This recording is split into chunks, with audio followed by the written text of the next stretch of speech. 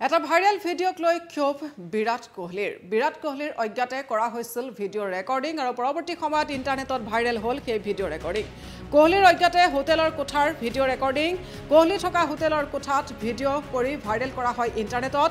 ক্ৰিকেটাৰগৰাকীৰ অনুপস্থিতিত কোঠাত প্ৰৱেশ কৰি ৰেকৰ্ডিং। গোপনীয়তাক সন্মান কৰিবলৈ আহ্বান বিৰাট কোহলিৰ।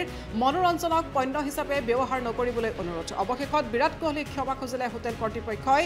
ভিডিঅ' ৰেকৰ্ডিং কৰা কৰ্মচাৰীক বহিষ্কাৰ হোটেল কৰ্তৃপক্ষৰ। অষ্ট্ৰেলিয়াৰ পাৰ্থৰ হোটেল ক্ৰাউন পাৰ্থত এই ভিডিঅ' ৰেকৰ্ডিং।